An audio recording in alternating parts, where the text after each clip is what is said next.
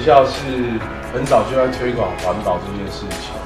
然后我在圣心也刚好八年了，然后这八年里面呢，呃，我就有见证着从原本没有推行环保委员会，一路到现在我们开始了推行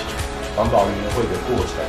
的那个演变，其实我都蛮深刻的感受到。